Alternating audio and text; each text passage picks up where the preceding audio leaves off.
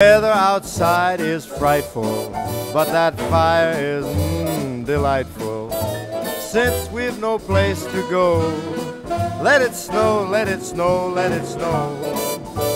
It doesn't show signs of stopping.